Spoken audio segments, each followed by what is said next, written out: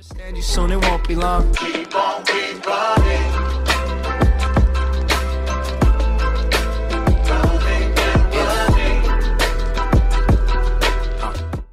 What it is guys, it is I, I Possess Power aka Jordan and welcome back to the channel.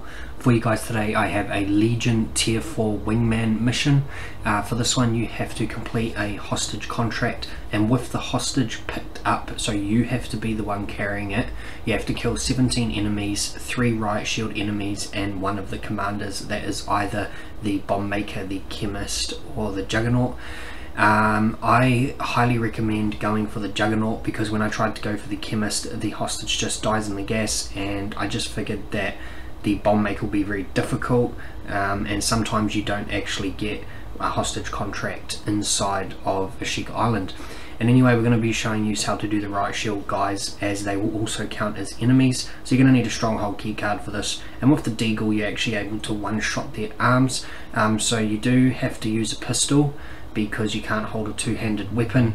Uh, so just make your best pistol class um, get a stronghold key card and then come and take out the riot shield guys and just kill 17 normal enemies. Uh, you can't use teammates to kill them while you're holding it. I tried that. It did not work. Um, so now we're going to be going after the jug so I suggested the jug because there is a bit of a cheese for it. After many attempts, um, I got quite sick of having unending tier 3 troops as well as this guy on me with a pistol. It just made it too difficult.